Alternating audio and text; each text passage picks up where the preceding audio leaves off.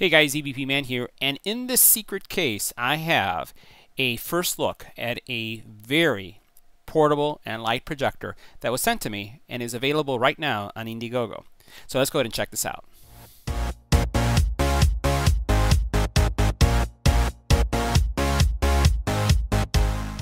So I was really excited to get this product to take a look at. It is a very portable projector that uh, was sent for review and it's currently on Indiegogo and there's opportunities for backers and for people to um, get involved with the project. It is extremely small. So what we're going to do is we're going to open it up, we're going to check it out, we're going to power it up and see um, the image quality.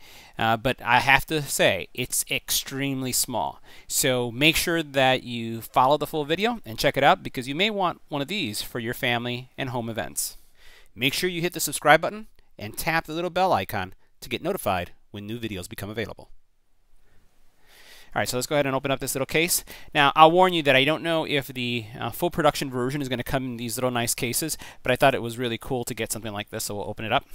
And what we have here is our projector. Now, this is the Liavs Air projector. Very small projector. Let me put in the palm of my hand so you can see. And for those of you who've been watching my videos and have seen me in person, you know I don't have ginormous hands. So this is really, really small. I would uh, put this uh, of the size of almost like a, an Amazon Echo. It is uh, very small. Uh, wireless charging pad as well. So uh, this is our projector. And with the projector, you get a couple things. So first, we have a charging cable. You also then have a little uh, projection stand. So this is our little tripod. And you have also then a power brick. So all these things make up the kit that you would be able to get if you were to purchase the projector. Now, for those of you who have been following the channel, you know I review a lot of projectors, and I love projectors, especially for home use, because it is just a great way to share memories and to watch movies. I'm a fan of doing backyard movies also, do that often. And something like this, really, uh, the utility of this allows you to take this anywhere with you, not worry about carrying something really big. While we had that little briefcase that it came into, uh, this literally will fit in your pocket. I don't recommend that you carry it in your pocket, but it will fit in your pocket, will fit in a purse very easy to move with you wherever you go. And something this small is going to give you the ability to see a 120 inch screen. You heard that. 120 inches. Uh, now, the brightness on this, because it's so small, is of 100 lumens. But I don't want you to shy away from that because at first you may say, whoa, that's a little bit too light. And I'll tell you that lumens are not always equal from device to device. So we're going to see what this thing uh, looks like. Um, I'm going to show you in a room that has partial lighting and then full darkness so you can see how you can use this. So let's talk about some of the, the major points. First of all, uh, this is going to allow you to share content coming from your iPhone or Android phone, tablet, or you know either one. So that's going to be your iPad or your Android tablet, and it's going to allow you to connect to devices like your um, laptops, uh, gaming stations. Uh, it does have an HDMI input that's going to allow you to really expand the utility of what you can see with this and transform um, how you watch uh, or share content. Uh, the other thing is that it does use um, DLP LED technology, so there are really no moving parts, so you don't have to worry about changing bulbs.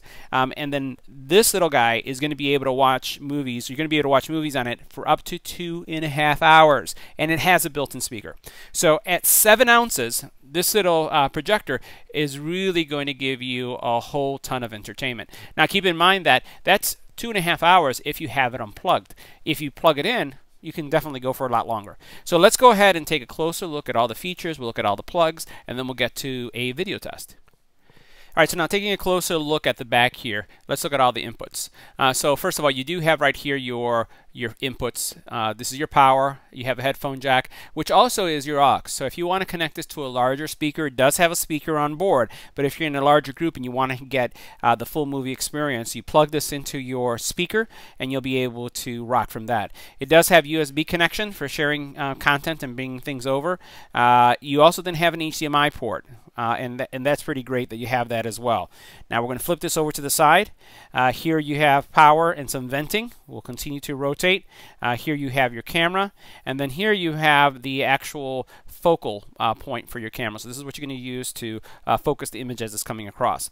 Now on the very bottom you have this mounting uh, platform that is going to be used to use this right here. So you'll just uh, screw that into place and then you'll be able to uh, just prop it up. And, and, I like using these little things because it allows you to kind of put the projector in an angle if you need to, to, to be able to project it into the right area.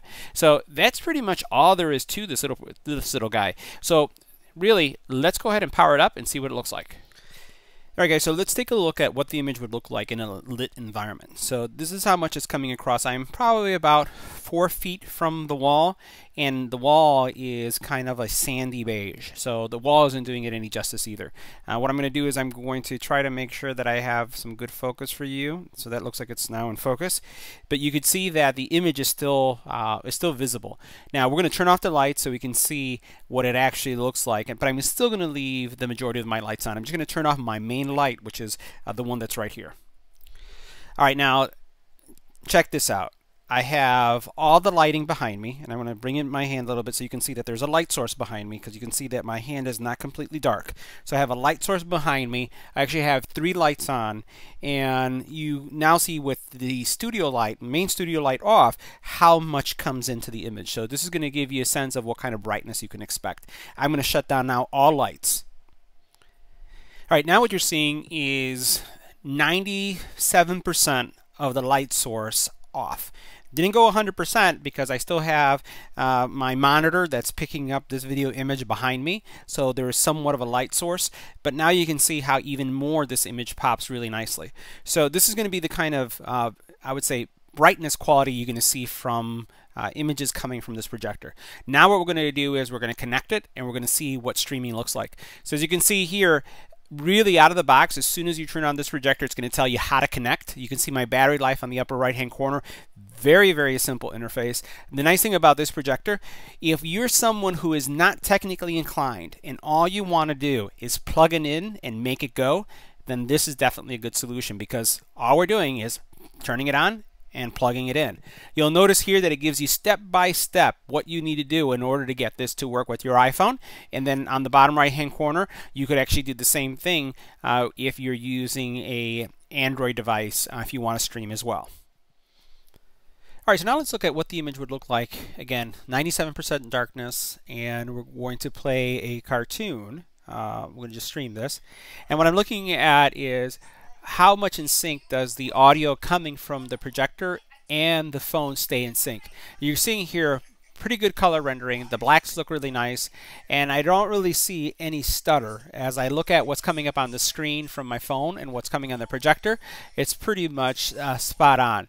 Now, I may have some Wi-Fi issues or some networking issues that I'm looking at, but what I see happening on the phone and what I see happening on the screen are in sync.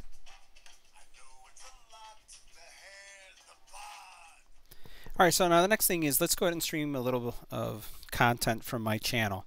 Uh, this was a video that we just did um, early this week as we came back from a unpacked event and just want to show you what the quality uh, looks like if you want to stream you know some YouTube content. So here uh, is the outdoor setting of this review of the scooter. Um, it's on the channel, so check it out. It's really, really fun. And again, I'm noticing some stuttering, but that stuttering that you see there isn't the projector. It's actually my phone that's actually doing that. Uh, but all in all, again, still very viewable. Uh, again, really fun uh, for those of you who are looking to, for a projector like this for the family.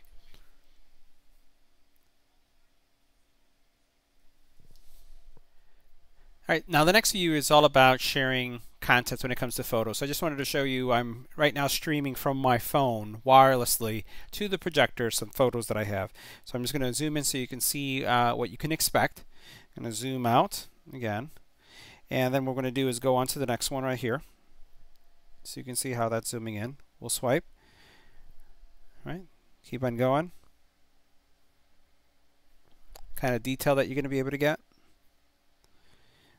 You see that one right there. Another flower. And that's my dog. So, uh, great for sharing photos. Um, quality looks great. And then, once again, uh, you can't beat this, especially if you can go 120 inches.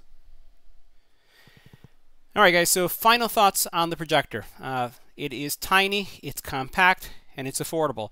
And if you're looking for something that falls into those three categories, uh, you may want to consider this one. Uh, it's going to be a delight to take this with you camping. You can put this in a bedroom, in a kid's room to consume content that way, to stream media from an iPhone or an Android phone. And it's like really, really easy to do. And the performance is also great. So that concludes our review. And if you have any comments or questions, make sure you leave it in the comment area. Smash the subscribe button, and I'll see you in the next one.